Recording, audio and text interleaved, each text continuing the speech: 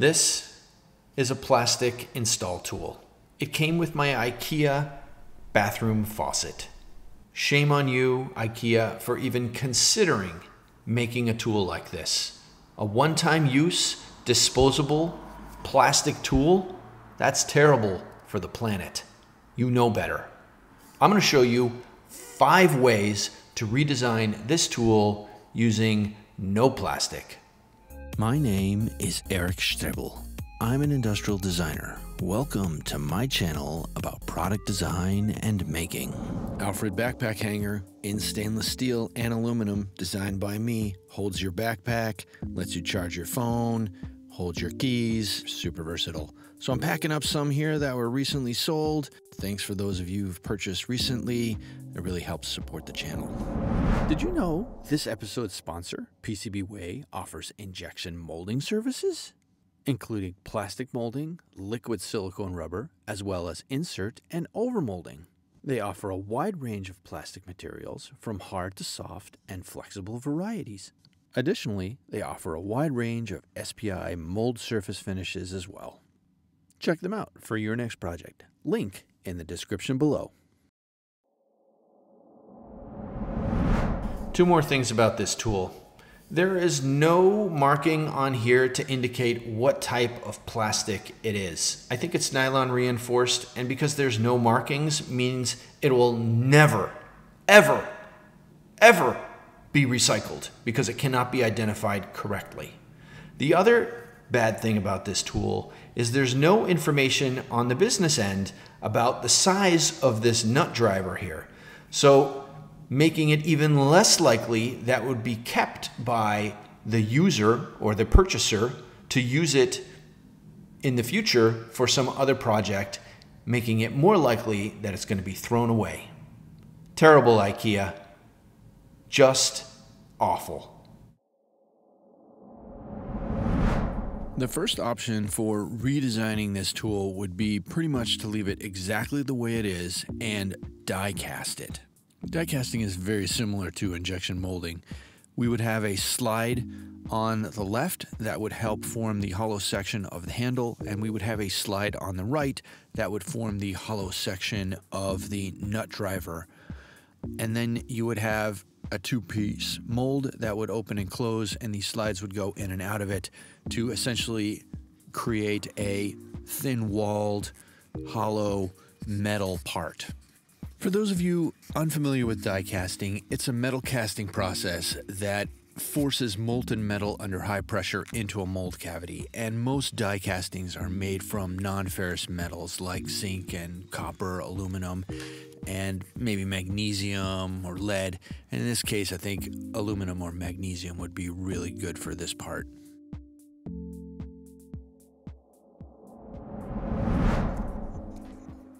The second option for redesigning this tool would be a folded sheet metal tool. So the part would be laser cut flat and then folded. And what I'm sketching out here on the top left is how that flat piece would look.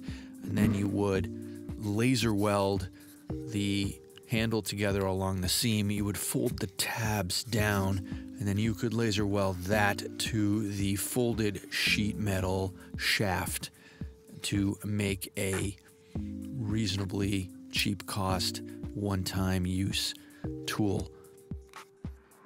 For a flat folded, laser cut, and laser welded tool like this, uh, materials that would be good would be maybe an aluminum or a mild steel.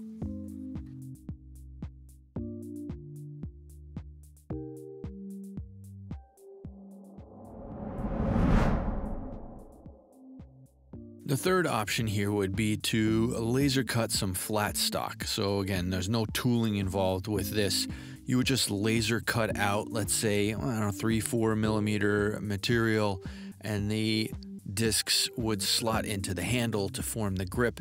On the other end, you would have a couple of U shaped pieces that you would uh, laser weld or possibly even braze. You could do this for the whole tool, all the pieces together with to get your strength for the nut driver end. The beauty of a part like this, along with the folded sheet metal part from the previous example, is that you're using flat stock material, so there's no tooling. You could use a mild steel here, or even like a 6061 very common aluminum to put a tool like this together to be cost effective.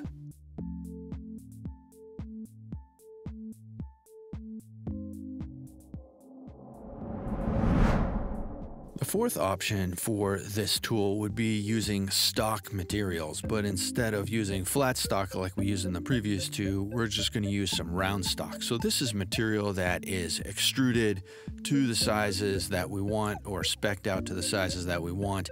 And in this case, it's just two tubes uh, where one is press fit into the handle. And then on the business end here, you could crash form that nut uh, driver pretty simply. So there would be a little bit of tooling there or whatever, but that's that's super minimal. Material wise, you could use some steel or some aluminum here. If you wanted to get fancy, you could laser some holes in the grip uh, for additional grip, or even knurl the handle for uh, some additional grip as well.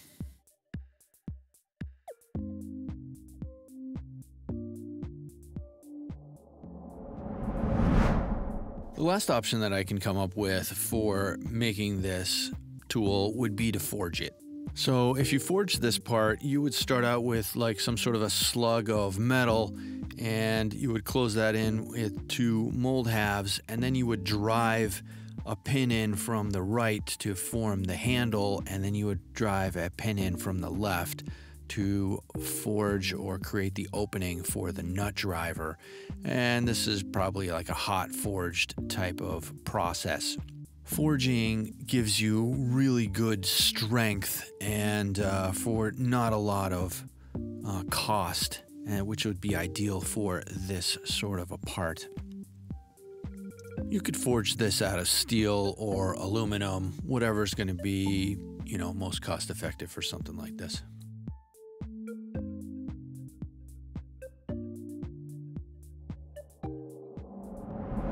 At some point in this planet's future, I hope it just becomes illegal to make anything out of plastic. And we're starting to see some of this where communities ban single use plastic bags, and many grocery stores are going to start phasing this out here in America. For example, here in the United States, it's unfathomable that we do not even have a national recycling program. Many countries around the world do, but many, many, many more do not. It's a huge problem. Human individuals have shown time and time again they cannot control themselves, and government is oftentimes not up to the task of helping us, guiding us, and in this case, recycling. So I think the next best option is for corporations to become more responsible with the plastic garbage that they produce. Yes, anything that's plastic is essentially garbage. Don't kid yourself.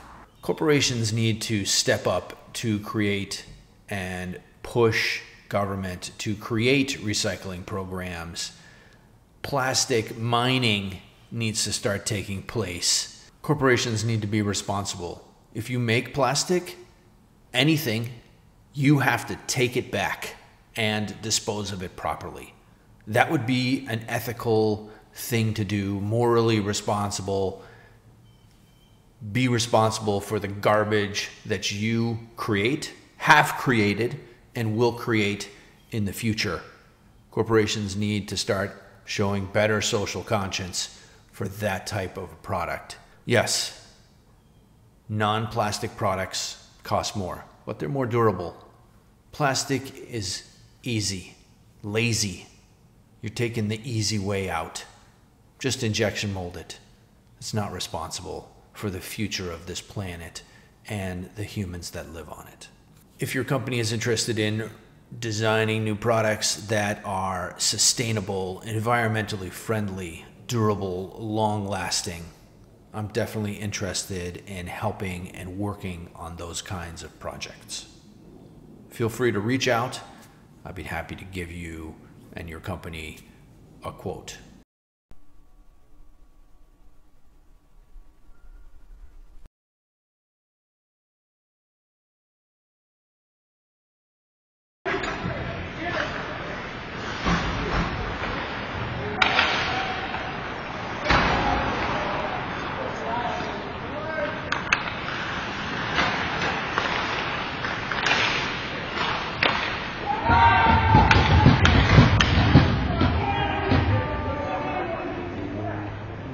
Sure you give the video a thumbs up and don't forget to subscribe if you haven't already done so.